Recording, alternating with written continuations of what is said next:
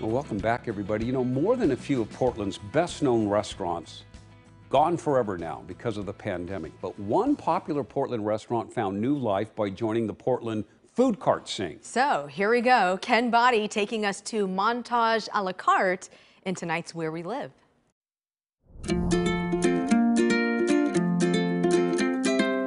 At the Hawthorne Asylum Food Cart Pod on Southeast 10th and Madison, there's a journey into nostalgia and a look at the future of a legendary Portland restaurant. It's called Montage a la carte. It's been just fantastic. It's just a really good environment for us to be in. Derek Ingwood was the head chef at Le Bistro Montage for the last five years of its 27 year run. Tucked underneath the Morrison Bridge on Portland's east side, Montage was known for Cajun food, mac and cheese, and staying open weekends until 4 in the morning. They put leftovers in elaborate tinfoil sculptures. Late night, uh, under the bridge, people thought it was a spot that nobody knew about, that everybody knew about, you know? Like many Portland restaurants, Montage could not survive COVID restrictions. It closed in June of 2020.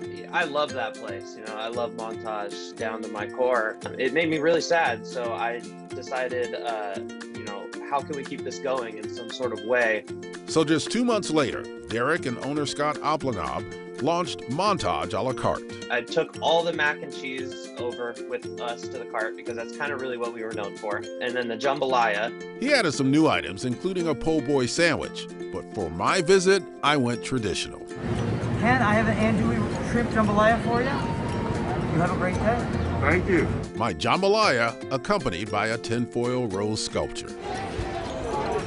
Mm, really good. Just like I remember it at the Bistro Montage underneath the Morrison Bridge. It's been great. Uh, you know, Portland has really came out and supported us. And Le Bistro Montage lives on. In Southeast Portland, Ken Boddie, KOIN 6 News.